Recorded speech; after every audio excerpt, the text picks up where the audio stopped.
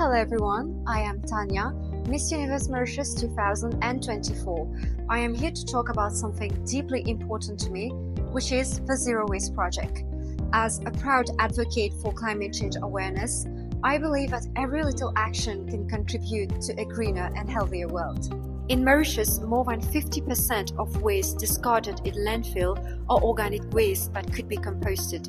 This not only takes up space in the landfill, but releases harmful gases in the air, such as methane, which is 25 more potent than carbon dioxide. Recently, during a beach cleanup campaign, I was able to experience firsthand on the amount of waste that gets discarded in our natural environment.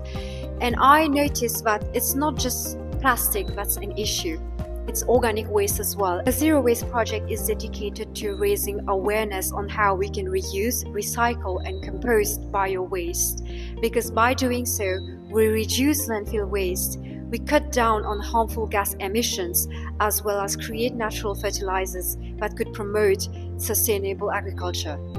I am starting by educating the younger generation about waste separation because I believe it is crucial that they know how we can make a difference to save the future.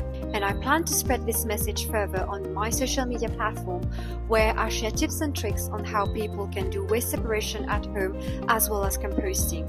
I engage with communities who's going to help with people to start up their own composting initiatives. Because together we can make a significant change. I am very passionate about inspiring others to take action. If we each do our part, I am sure we can create a zero waste culture that's not only going to benefit the environment, but the future generation to come as well.